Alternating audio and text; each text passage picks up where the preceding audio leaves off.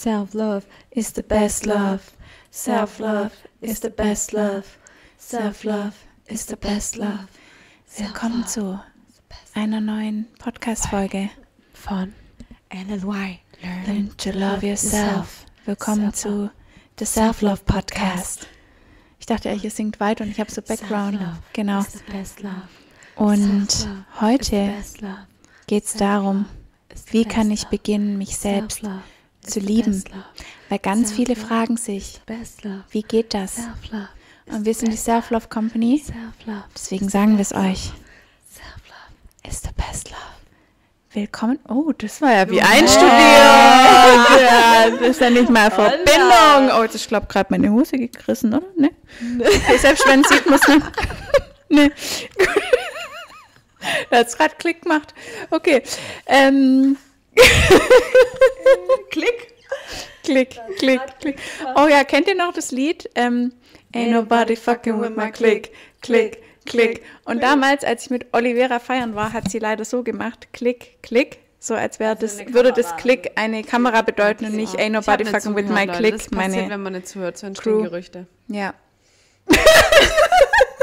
okay, auf jeden Fall sprechen wir heute darüber, wie kannst du beginnen, dich zu lieben, weil wir sprechen immer über Selbstliebe und yes. auch über ganz viele tiefe Themen und dann kommt aber immer wieder, ja. ich will mich selber lieben, aber wie zur Hölle kann ich das machen?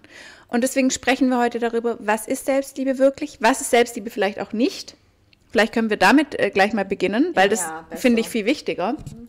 Und dann konkret, was kannst du machen, um beginnen, dich selbst zu lieben?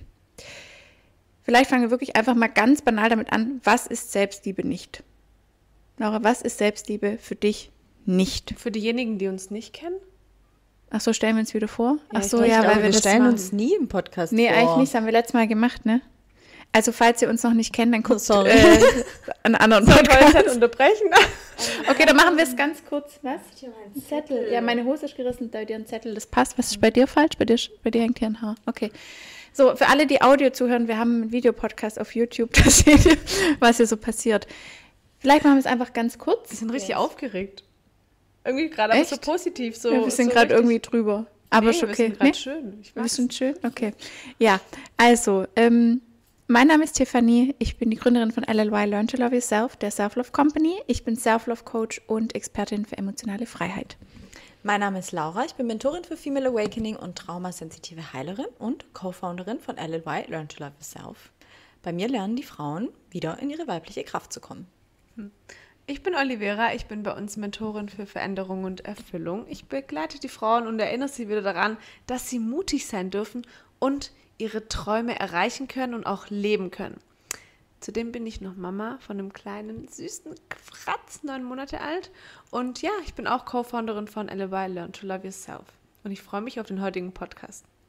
Und ich würde sagen, heute starten wir direkt rein. Naja, direkt, es war ja schon irgendwie fünf Minuten. Was ist nicht irgendwas. Selbstliebe? Genau. Laura, was, was ist Selbstliebe nicht, nicht für dich? Mich zu verurteilen für meine Gefühle und für meine Wünsche, meine Träume und für mein Sein. Das ist für mich keine Selbstliebe. Mhm. Für dich? Für mich ist keine Selbstliebe, dass ich mich im Außen immer akzeptieren muss, dass ich nicht den Wunsch haben darf, auch was an mir verändern zu wollen. Mhm. Das ist für mich keine Selbstliebe. Mhm. Das finde ich gut, weil ja Selbstliebe immer heißt, du musst alles an dir lieben und alles mhm. toll finden und ja.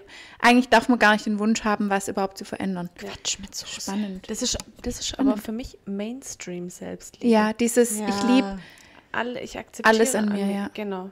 Ich liebe alles an mir, aber ich liebe es auch, dass ich etwas an mir verändern will. Mhm. Ja. Aus Liebe zu mir darf ich mich weiterentwickeln. Genau. Nicht aus Hass zu mir. Ja. Finde ich gut. Für dich? Für dich? Für mich ist Selbstliebe nicht, wenn ich ein Leben lebe, das mir keinen Spaß macht und das nicht zu mir passt. Also für mich ist nicht Selbstliebe, mhm. wenn ich einen Job habe, den ich nicht mag, wenn ich eine Partnerschaft habe, die irgendwie so ja ist. Das heißt, oft sehe ich, okay, Leute sagen, ja, ich liebe mich selber. Und wenn du dann aber das Leben von denen anguckst, spiegelt es überhaupt nicht wider, wer sie eigentlich sind. Ja, wichtiger Punkt. Ja. Was ist für dich Selbstliebe, Laura? Selbstliebe ist für mich, mich selbst zu sehen mich selbst zu sehen, mich anzuerkennen und mich so auch zu akzeptieren. Und da geht es nicht darum, dass ich jede Speckrolle an mir liebe oder keine Ahnung, das passt mir nicht, das mag mhm. ich nicht, sondern dass ich in einer ganz aufrichtigen Beziehung mit mir selbst bin, so wie ich es auch mit, mit jemandem im Außen wäre. Also wie wenn ich eine Partnerschaft führen würde, sodass ich in einer ganz tiefen Liebe mit mir bin, in einer Beziehung, an der ich arbeiten darf, an der ich wachsen darf, etwas, das mir mich selbst auch spiegelt und dass ich einfach in dieser Verbindung auch mit mir selbst bin, genauso wie es vielleicht mit einer Person im Außen wäre. Das ist für mich Selbstliebe. Voll schön für dich, Olli. Ich muss sagen, dass ich für mich Selbstliebe in den letzten neun Monaten neu definiert hat. Danke. Neu, so, es hat sich ein bisschen verändert. Mhm. Also im allerersten bedeutet es für mich, meine Bedürfnisse zu kennen und zu verstehen. Also dass ich in ganz vielen Situationen, vor allem jetzt auch mit meinem Kind, wenn ich merke, uh, ich bin irgendwie aus dem Gleichgewicht, dass ich mich frage, okay, was steckt jetzt gerade hin und was brauche ich gerade, weil ich auch das Vorbild für mein Kind sein möchte. Also Selbstliebe bedeutet auch mich, dass ich als Vorbild durch die Welt gehe und dass ich als Inspiration durch die Welt gehe. Mhm. Und mich halt auch einfach immer frage, was brauche ich? Und das kann jeden Tag anders aussehen. Ja. Vielleicht braucht es mein Körper auch einfach mal länger zu schlafen. Vielleicht braucht es mein Körper mal früher aufzustehen. Vielleicht braucht es mein Körper auch einfach mal nur daheim zu sein. Vielleicht braucht es mein Körper aber auch und meine Seele und all meine Anteile und auch die Beziehung, dass wir rausgehen und was erleben, sodass ich mir jeden Tag immer was Neues erlaube und das erkenne. Das bedeutet für mich Selbstliebe. Das ist schön, weil das haben wir auch in unserem Journal so, was, was ja. brauche ich, wer möchte ich morgen sein, dass ich das ja immer verändern darf. Ich glaube, es ist auch ein Teil von meiner Definition von Selbstliebe. Also ich glaube, bei mir sind es zwei Teile, die ineinander gehen. Das eine ist, Selbstliebe ist für mich absolute Selbstverantwortung, mhm. dass ich die Verantwortung dafür übernehme, wie mein Leben läuft, was ich tue, was ich zulasse, was ich nicht zulasse, weil ich kann nicht daran ändern, was andere tun, aber ich kann verändern, was ich toleriere. Das heißt, Selbstliebe bedeutet für mich ab jetzt nehme ich mein Leben in die Hand, ich warte nicht mehr, sondern es ist meine Verantwortung aus Liebe zu mir selbst. Weil, wie du schon so schön gesagt hast, wie in einer Beziehung, lass ja auch nicht jemand liegen und sag, oh, hoffentlich wird es irgendwie morgen anders, sondern ich gehe dann hin und sage, hey, ich helfe dir nach oben, lass uns das machen, lass uns was verändern.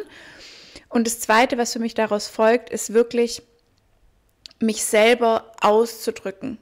Wer bin ich? Selbstliebe mhm. bedeutet, ich schaue hin, wer ich bin und drücke aus, wer ich bin.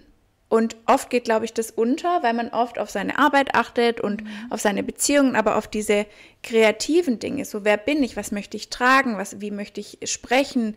Ähm, an welchen Orten möchte ich sein? Möchte ich malen? Möchte ich tanzen? Möchte ich schreien? Möchte ich boxen? Möchte ich diese Anteile, die in unserem Alltag eigentlich gar keinen Raum haben, sind hauptsächlich die, wodurch wir uns ausdrücken können. Deswegen ist Selbstliebe für mich Selbstverantwortung und Selbstausdruck. Und dadurch entsteht dann auch ein Leben, das das widerspiegelt, wer wir selber eigentlich sind. Und dadurch werden auch unsere Beziehungen besser, weil wenn andere dann ganz klar sehen, wer bin ich, sehen sie dich auch für das, was du gesehen, wofür du gesehen werden möchtest. Ich glaube, dass es aber auch die größte Schwierigkeit ist, sich selbst anzunehmen und sich selbst auch genug zu sein. Weil ganz viele haben ja den Glaubenssatz, ich bin nicht genug, ich mhm. habe es nicht verdient, ich bin es nicht wert.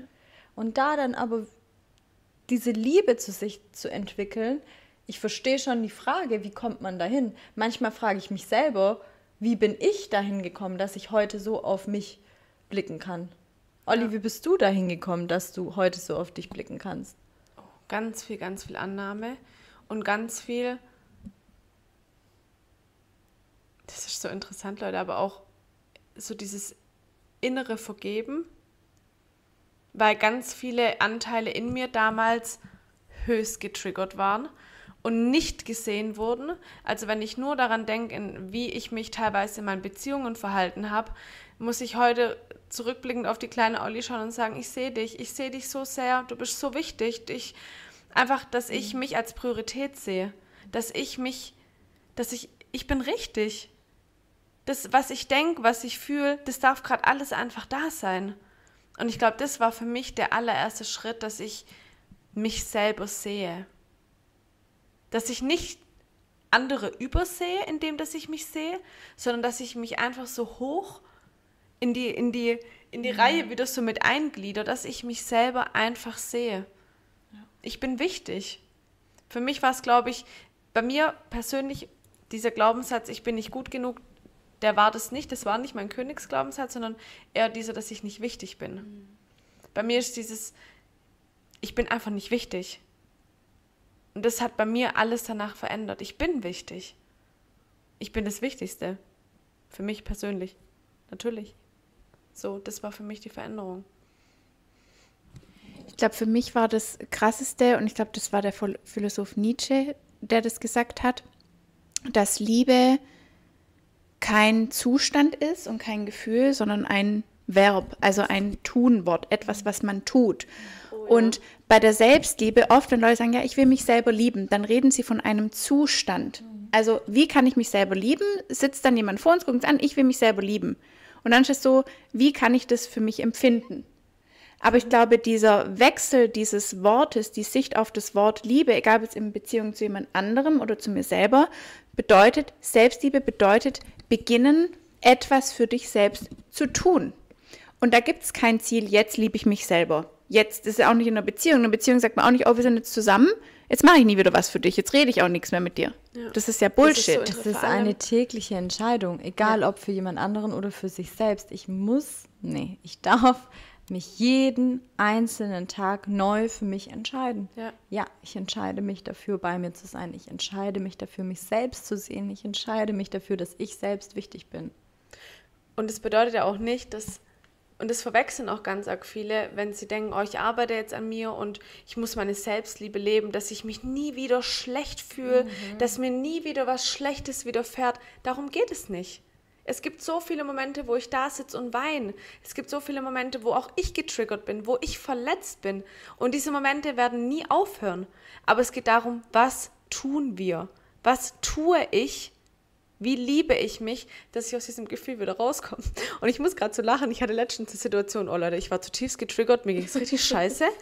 Um 0 Uhr nachts, wirklich um 0 Uhr, es war 0 Uhr 5, saß ich da und ich so, okay, ich mache jetzt einen Workout.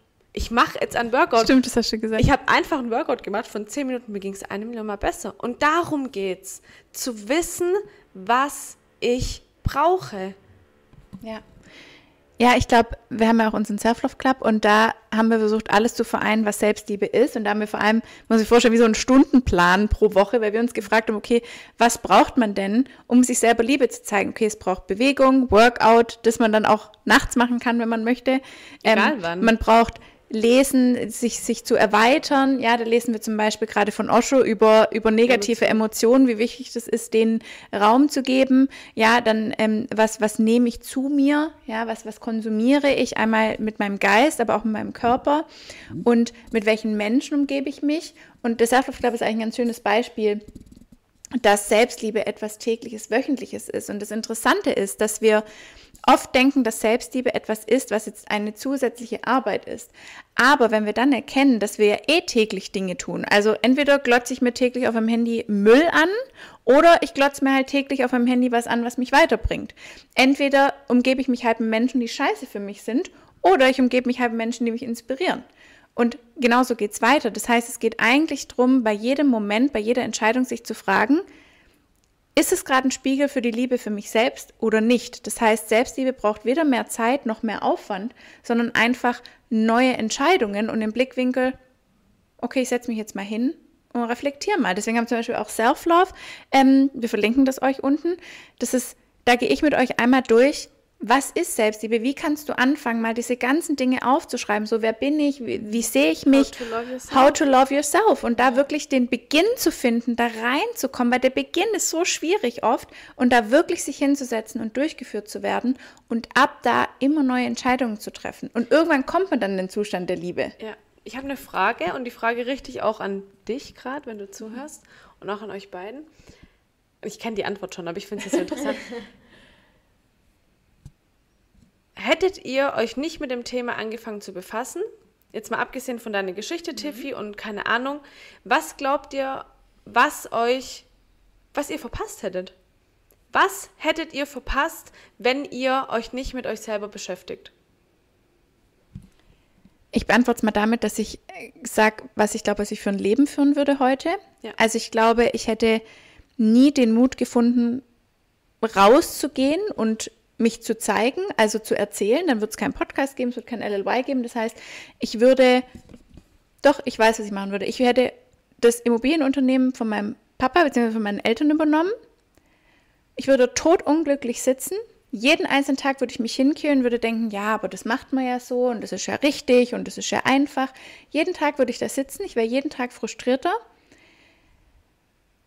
Wäre damals in einer Beziehung geblieben, die nicht gut für mich ist, hätte den Frust auf meinen Partner übertragen und würde heute frustriert dran sitzen, mich bei euch beschweren über meinen Partner in einem Beruf, der nicht gut für mich ist und würde, glaube ich, in dieser Spirale drinbleiben von Unzufriedenheit und würde dann versuchen, Sachen zu kaufen oder das wegzuessen, so wie ich es früher gemacht habe, weil ich gar nicht gewusst hätte, dass ich in meinem Inneren was ändern könnte und hätte immer versucht, die Schuld auf den Immobilienmarkt zu setzen, auf die, auf die Wirtschaftslage, auf meinen Partner, auf alle anderen.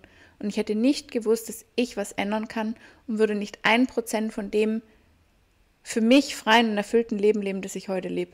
In, in wirklich Lebensfreude und Lebendigkeit. Ich glaube, ich wäre so ein halber Zombie, der irgendwie rumlaufen würde. Ja, krass. Und du, Laura?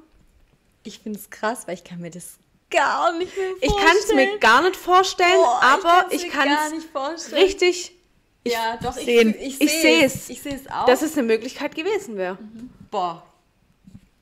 Danke, lieber Gott, dass ich diese Möglichkeit äh, ausgeschlagen habe und diesen Weg gehen durfte.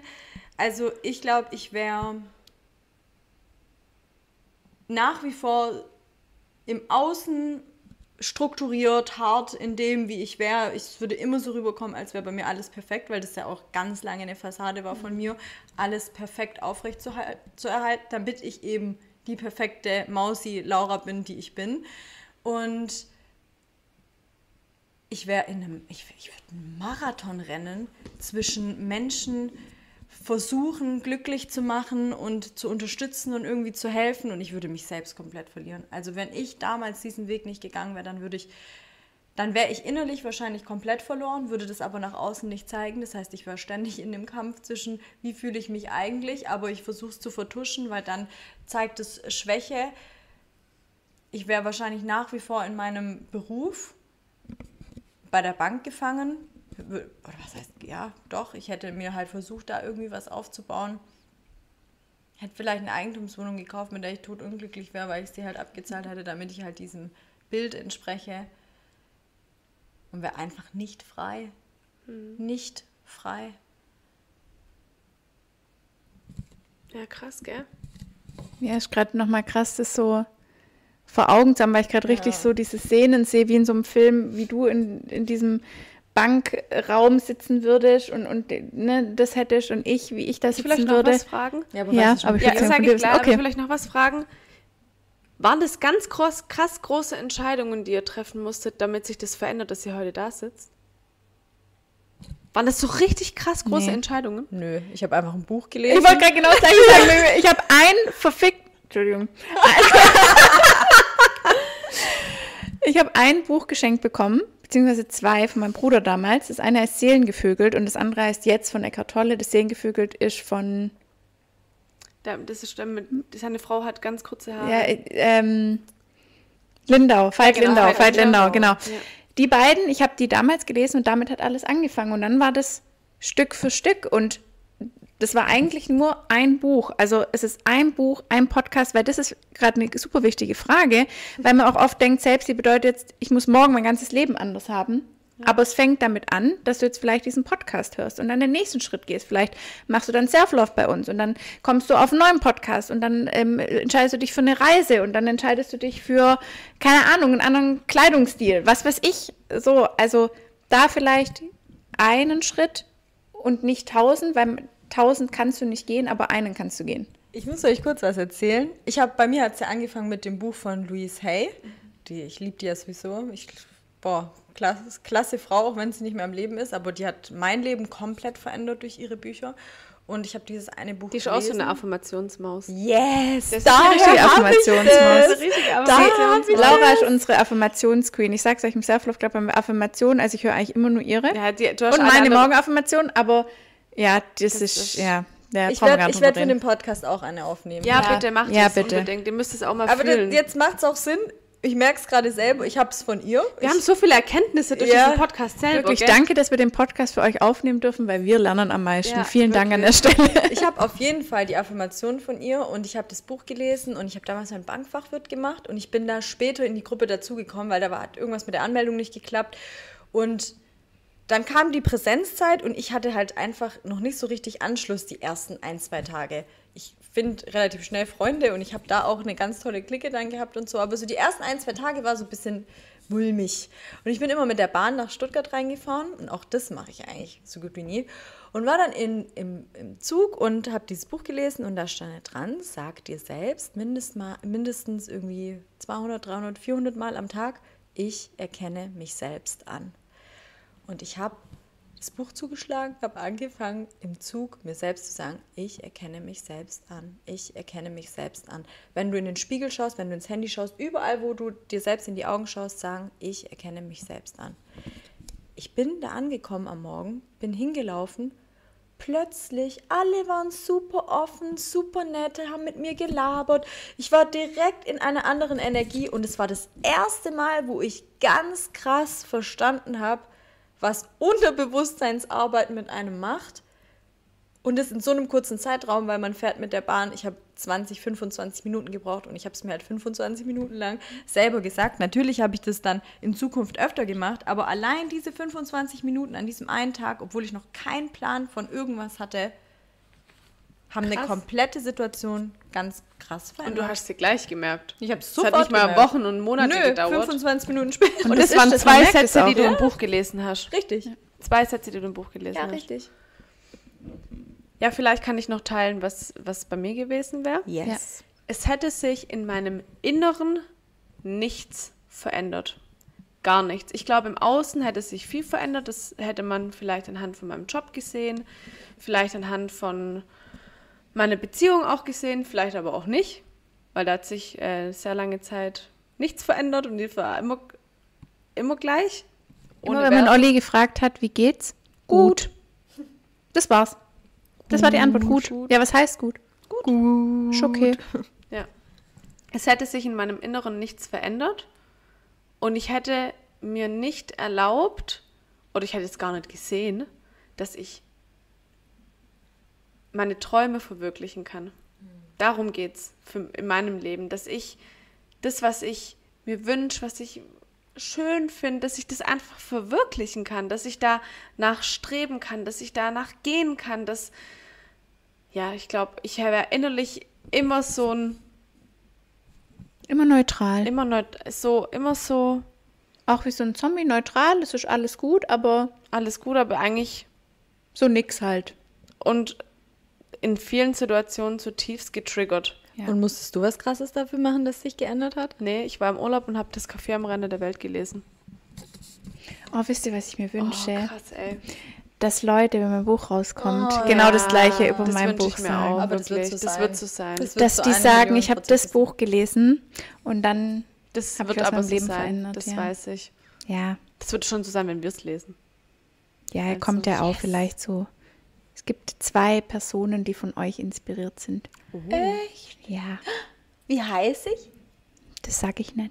Oh, Ihr müsst es selber rausfinden, aber jeder Name im Buch hat eine Bedeutung. Also ihr könnt dann diese Bedeutung googeln. Dein Name hört sich ein bisschen komisch an, aber hat eine ganz tolle Bedeutung. Oh. Und deins hat auch eine Bedeutung. Jede, jede Person, also jeder Name da drin hat eine Bedeutung und wurde lang durchdacht. Oh. Also ich kenne ja viele aus dem Buch, aber das, Das ja, wusste ich. Ja, das kenne ich nicht. Oh. verrate ich nicht. Aufregend. Ja, Deswegen. Ja, aber das ist krass. Ähm, ich hoffe, dass mit diesem Podcast jetzt heute auch du, wenn du gerade zuschaust und zuhörst und dich einfach inspiriert fühlst, in den nächsten Buchladen zu gehen oder How to Love Yourself, The Self-Love. ähm, verlinken es unten zu- für Ja, wir dich. verlinken es, das zu machen. Oder generell dir einfach bewusst zu machen, wer du bist, wer du sein möchtest, was du gerade brauchst. Beginn einfach. Beginn, Beginn nicht damit zu einfach. fragen, wer bin ich und was will ich. Das ist schon Selbstliebe und ich glaube, darum geht's. Und das ist, glaube ich, die größte Message, die wir heute mitgeben wollen. Es braucht nicht viel, sondern es braucht einen Beginn. Und so wie bei einem Marathon oder das Wort von Marathon, natürlich kann ich versuchen, gleich den ganzen Marathon zu laufen, aber es geht um den ersten Schritt. Und den hast du so oder so schon gemacht, wenn du diesen Podcast angehört hast. Das stimmt. So oder so, also den hast du schon gegangen. Jetzt schau, was ist der nächste für dich. Und wir bedanken uns fürs Zuhören und dass wir heute teilen durften und auch selber wieder lernen durften. Und damit lieb's. sagen wir Paris, Athen. auf, Auf Wiedersehen. Wiedersehen. Tschüss.